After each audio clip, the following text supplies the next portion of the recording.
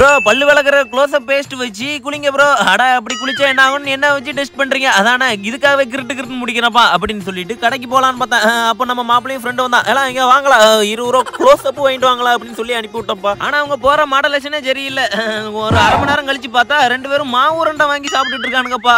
ஏலா close-up வாங்க சொன்னா கொடுத்த காசுக்கு மாவு உருண்டையா வாங்கிட்டா அப்படிங்க இப்போ வாழ மாவு கட்டு ஓடுற அளவுக்கு சுத்தாம விட மாட்டேன்னு சொல்லிட்டு அடிச்சு அடிச்சு நம்ம மாப்பிள்ள அரை மண்டல் ஆயிட்டான்ப்பா.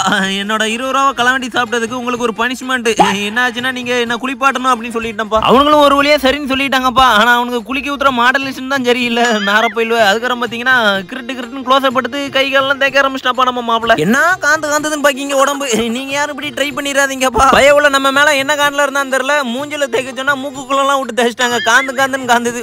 ஒரு வழியா எப்படியே கிரிட்டு கிரிட்டுன்னு இதுன்னாச்சு. ஆனா நான் உடம்பு எரியற எரி தான் தாங்க முடியல. ஒரு வழியா டாஸ்க் எல்லாம் கிரிட்டு கிரிட்டுன்னு முடிச்சிட்டேன். ஆனா நீங்க மட்டும் இந்த மாதிரி யாருமே தயவு செஞ்சு பண்ணிடாதீங்க